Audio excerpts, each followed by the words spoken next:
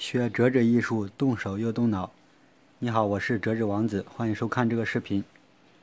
有位名叫郝汉森的网友在我的博客留言板留言说想学一下古代蕨的折法，今天我们就来折一下古代蕨。首先，我们看一下它的效果。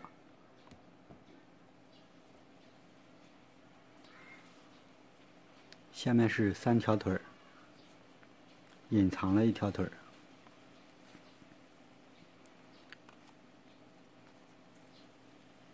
两侧两个圆柱，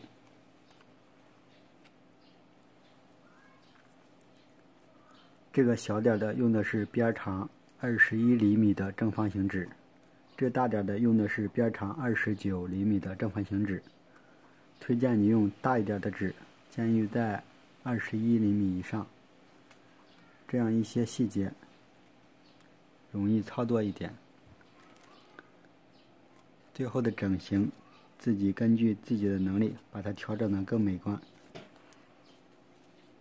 这里把其中一个腿儿隐藏在了这个里面，蕨应该是三条腿的。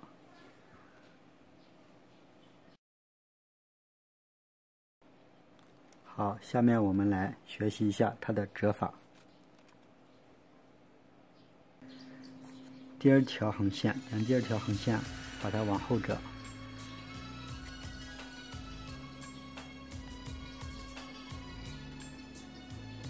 第三条，我们继续接着上一段视频进行操作。这一段给大家展示一款折纸作品——折纸敞篷车。想学更多折纸的话，关注一下我的微信公众账号。我们继续看一下侧面这个部分。把两个角都往里折一下，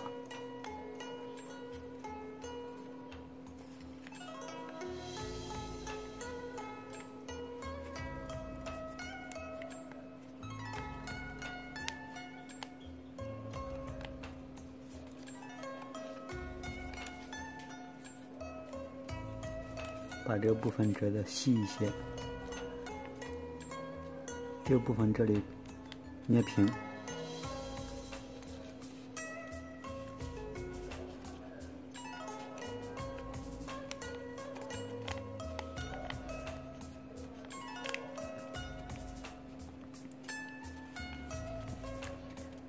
然后把这个部分向外折。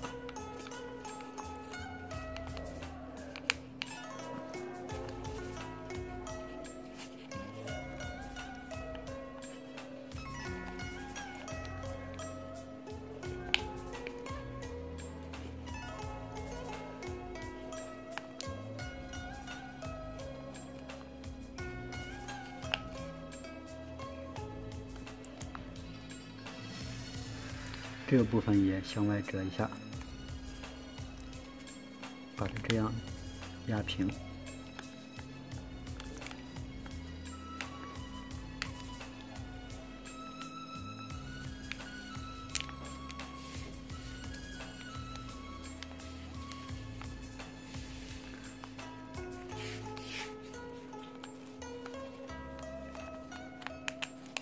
调整一下。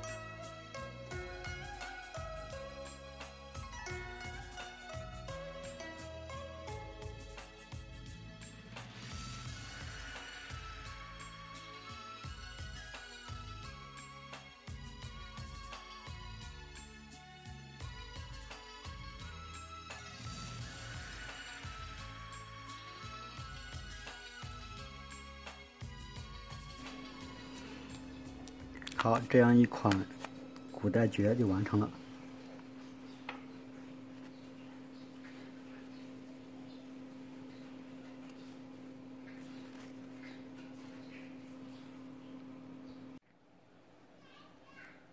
你现在看到的是最后完成的效果。